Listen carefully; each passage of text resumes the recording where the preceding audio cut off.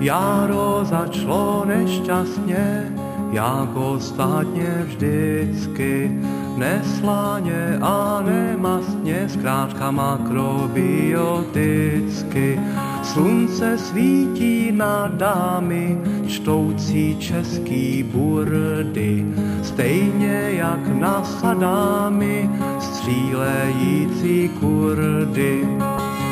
Přišel jsem dřív z oběda, pokoji hrál Verdi, načapal jsem souseda, měl gatě na půl žerdi. Jdu do polí za prací a za druhou mízou, unavený lustrací a parlamentnou krízou. Svítí křídla pilásku, v řece se třou líni, na tradiční pomlásku z řetězy jdou skýni. Čichám děsný aroma, potácím se blédnu. Narazil jsem na Roma, co píchlýho tu v lednu.